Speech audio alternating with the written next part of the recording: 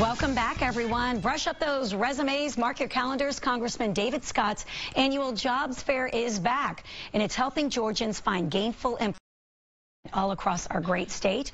Mark your calendar. This Friday, April 12th, marked 16 years of him hosting this tremendous event. This year, he has partnered with U.S. Agriculture Secretary Sonny Perdue, and we are honored to have both of them in the studio. Hello, gentlemen.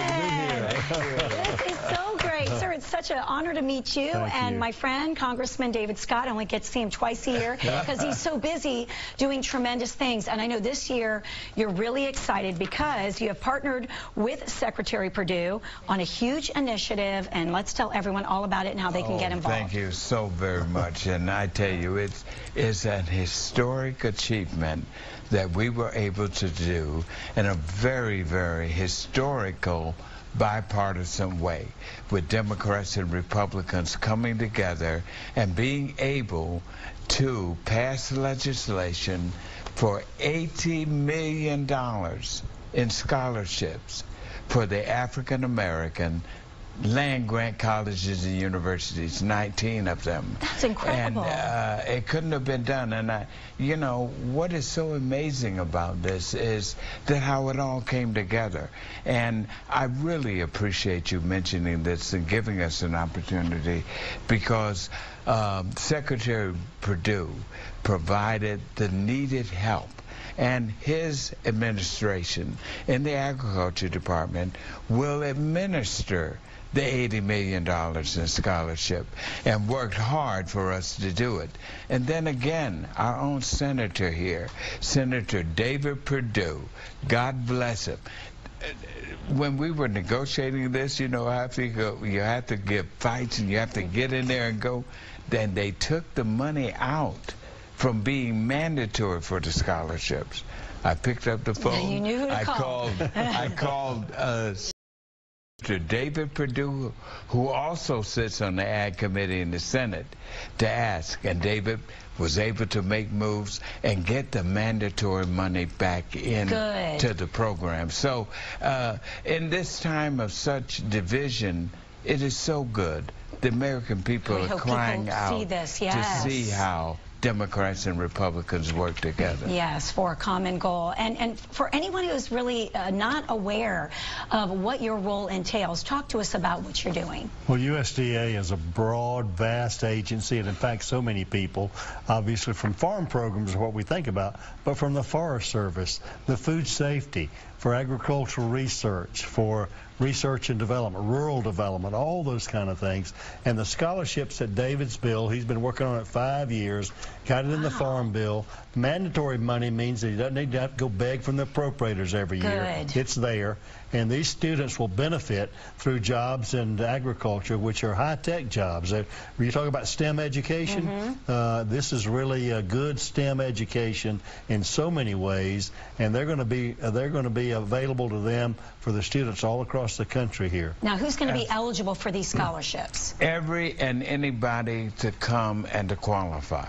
What makes this program so special is these 19 land grant African American colleges and universities were the big ones. They came about right after the Civil War. And Plessy Fergus- Ferguson was passed, separate but equal. So everywhere they had a land grant, like the University of Georgia, here comes Fort Valley. University of Florida, they had Florida A&M. In Alabama, University of Alabama, but they put Alabama A&M and Tuskegee, 19, in all these different states.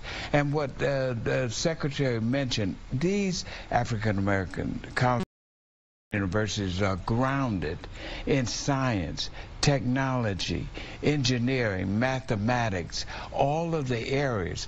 Our jobs and our industries are changing so rapidly because of technology. Sure, they have to be up And on it, here's yeah. the other beauty point. At these schools, these 19 African American colleges, every race, creed, color, background goes to these schools. Yeah, it's- it's so it's wonderful. open to everybody, and we will have people at the jobs fair. Good, that was to my next question. To So- get in for more information. Bring their resume. And uh, as I said, the other beauty about this is that uh, Secretary Perdue and the Agriculture Secretary, as the Agriculture Secretary, will be the one administering the program. Wow. Isn't that wonderful? So you're going to be out there, and, and we're encouraging everyone to come out, not just those applying for the scholarships, but those looking for other jobs, jobs as yeah. well. And it, I know you've always talked about the importance of the employers who are coming out, uh, wanting to put our veterans back to work, right? Oh, yeah. And the, I'm so glad you mentioned that because we really work hard to make sure. And the other point is, hey, let me tell you, uh, Chandra just told me, my, my district director who champions all this great work, she just told me she received the latest information. We're going to have 147 employers looking to fill over 10,000 jobs. That's incredible. The economy is thriving. It, it is thriving, yes. And and so that's why I say. And then on top of that, we will have the VA there. The head of the VA will be there.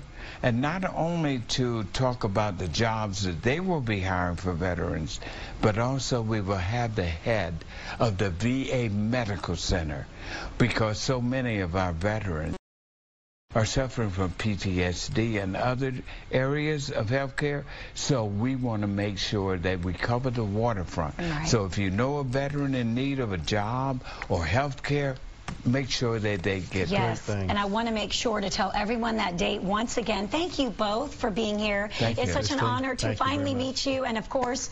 Thank you for all of your great work that you're doing here. Uh, we so appreciate it. All these many years. 16th is right. And I want to thank WXIA 11 Alive for being with me all 16 of you know years. It. We wouldn't have it any other way, sir. That's right. Thank Once you. again, please don't miss that jobs fair. It is Friday, April 12th from 10 a.m. to 3 p.m. at the Georgia International Convention Center. Simply visit davidscott.com